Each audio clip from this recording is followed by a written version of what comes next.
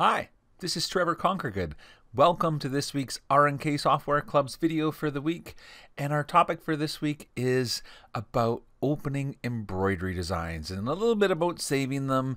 And we'll even talk a little bit about the cool new density optimizer tool that we got with our new update in the latest update to the Floriani software. And so let's go ahead and get started. And notice that I've just um, sort of started up the software and I still have the Floriani Today page on my screen.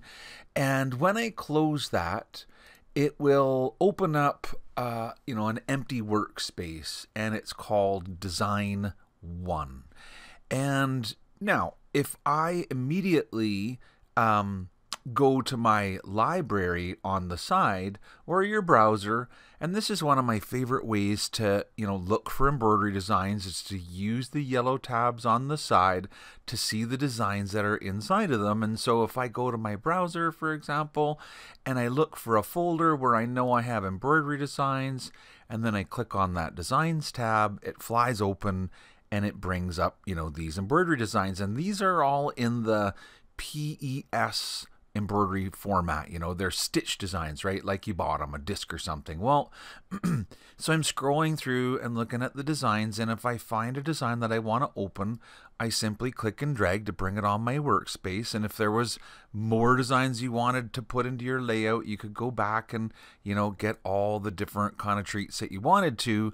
Um, and each one comes in kind of grouped together like that. See, so how, when I click on the sort of um, what is that again? Cupcake and a donut. And when I click on the donut, it selects it. When I click on the cupcake, it becomes selected. Now, I wanted to point out that one thing that changed in the latest update is that these designs did not automatically get converted into outlines in, in previous versions of the software, they would have.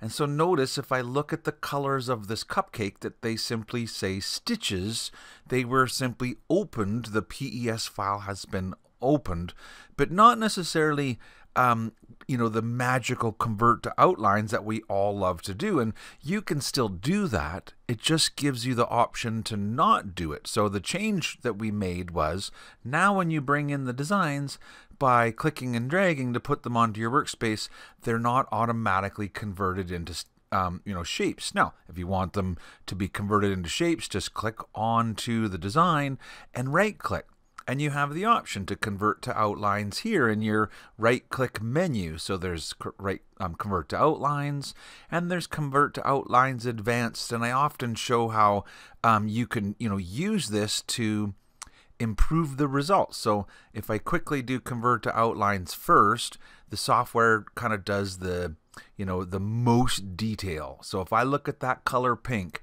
you're going to see the run stitch well that's really the original underlay, but the software doesn't know it's underlay. It just knows that it's a forward, forward, forward kind of stitching, and it's called it a run stitch, right? And then it sees a fill stitch, but then some more run stitch, and then more fill stitch. And the reason all that happened was because the original design kind of the pink color finished here, and so you know the software makes these shapes based upon a pattern in the stitching. And when it sees a change in the pattern, it goes ahead and makes a new shape. And I mean, it's great that it's done that because now we can take all of those shapes and make them bigger, and the software will generate new stitches, right? And we can see that um, our stitch count would be going up as we look now. It's 5889, and if I make it larger, it's going up to 6,000 now. You know, but if I click on the cherries and I enlarge them, the stitch count didn't change. So when you change the size of stitches and they aren't converted to outlines, it really just scales those stitches a little bigger. And sometimes that's all you want. Because remember, sometimes you just want to make the design um, a little less dense. And maybe the easiest way to do that is to select the original stitches, not change the stitch count, but make it 10% larger. You know, and that would make, in essence, 10% less density. Um, and then because the new tool, just know that the new tool is right here, the density optimizer, but the density optimizer will require the design to be converted into outlines. So it doesn't optimize, you know, the the whole concept of raw stitch data when it says stitches here is that the software won't change it. But if you were to select this whole little cupcake design, then you could use your density optimizer to, to make it lesser more stitches. So notice there's 6,000 stitches in our total design right now, not just the cupcake, but like the, these two parts. But if we look at the bottom, right down here below the color bar, it says that there's 43 segments in this design, but 37 are selected. Okay, so we have, and in our selection, there's 2,283 stitches. So really right now, what I have selected is the 2,283. And if you come in here and just say to make it all 90%, so that'll be like 10% less, and say okay, now that selection is 2,063 so you can see how the new tool works once you've converted to outlines. And I just wanted to point out the small difference because in the past, when you came to the browser, if if you use the browser and you click on a folder and then you browse that folder and you bring the design onto the workspace, in previous builds, they would have automatically been converted into outlines. So there's a small change in the software that's worth knowing about because now you can select um, all of this hot dog and convert it into outlines, or maybe you just want to change the density of the fill and leave all the rest of it, maybe just the brown part. So you could click that one brown color and then right click and say convert to outlines. And so then you only converted the one color into outlines, wherever that color was down here, and the rest of the design is still left in its kind of original sort of raw stitches and is unchangeable. So therefore, if I select this design and want to use the density optimizer, it's only going to affect the brown bun, but not the kind of red hot dog. Okay, so all that said, we could also look at the advanced option because um, with the, here, let's hit undo because I did a couple things. So let me undo back till when the cupcake is still untouched. So not quite yet. Undo maybe one more time. No, still one more. There. So see how the cupcake all says stitches again. So this time when we right click and do the convert outlines, I always like to show the difference between the regular and the advanced because remember when I showed you the pink color for this? And it was like four or five pieces. Well, the advanced gives a little benefit because I can have the software remove the underlay, you know, and then we can put our own on. You know, if we wanted to change the kind of stitching there, this would be what we would do. So we could say, aggressively remove all of the underlay and check here to merge the fills. So now it does the sort of process again, but this time when we look at the color pink, notice that it's just made one piece of embroidery, one shape, and called it a fill. It doesn't currently have any underlay stitches, but now we could use our own underlay settings and add our own contour plus perpendicular and say apply and boom, now you've made your own underlay. So that's um, always an interesting part, and we can definitely learn more about converting stitches to outlines. Um, but in this video, um, I also wanted to talk a little bit more about opening and saving because another small change. So when remember at the beginning I said that we were on a workspace called Design 1.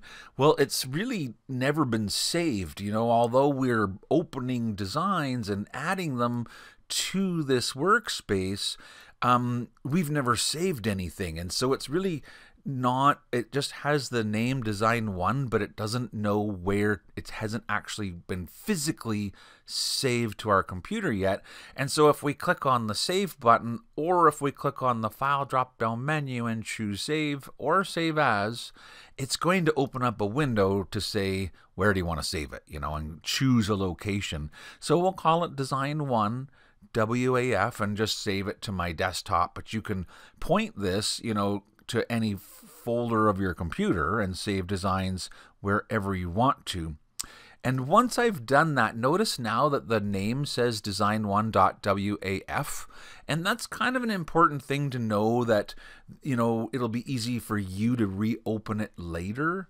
Um, I don't know if you've ever noticed in the file drop down menu, there is um, recently opened files And so once you open a file and give it a name, you'll be able to open it again easily just by coming back to it on your list and opening it up. So it kind of remembers the last three or four things that you um, have, you know, saved basically with the program or open.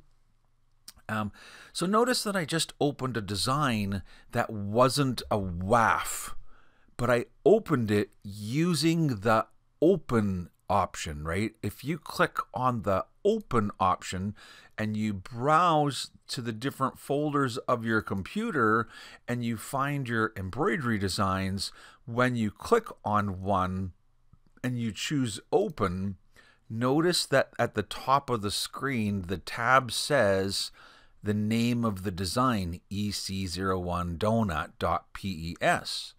So that's what we opened. And it is that's different than when you click on, for example, new, because you've started a new design with no name. And then when you go to your browser on the right hand side and you go to that exact same folder and you find that exact same um, donut and you open it up, it's just called design 2. So because we didn't actually open this design, we added it to a workspace that we had already opened. And that's the one thing I think that is a little bit different about when you click on the open button and you browse to a folder, you actually open the file that's already been saved. It has a name, it has a location, and the software knows where that is. Now, if I click on um, Save As, and I notice that it's not remembering where that file came from. And so that is something that we will get corrected because it should, um, you know, once I've opened it, it should, if I click save, you know, remember kind of where it was, which was in this folder here. But see, I could put it wherever I want. I'll save it to my desktop. So I've taken that design that was a PES and I'm going to save it as a Floriani WAF. So I'll click save. And notice that up at the top, the design name now becomes the WAF. And the WAF is kind of the, the default format. I don't know if that's the right way to say it, but um, just as an example, if I um, create a new workspace, and it's called Design 3 and it has no like I said it hasn't been saved yet so it doesn't have a location. The software doesn't know where it belongs. And if I open up a piece of artwork and perhaps fill it in with thread and maybe even copy and paste it and make a border kind of stitch around it something like that. And um, so we've created a little embroidery design. And if I choose to go file and save or save as, it asks me where I want to save it. And so I'll save it to my desktop and call it Design 3. Now, when you want to embroider that design, your embroidery machine does not read the WAF format. And so you need to make a PES or a JEF or a VP3 or whatever format that you use. And I know there's lots of great formats that people use. And of course, we can save any of them. But to make that other format, I need to say File and Save As.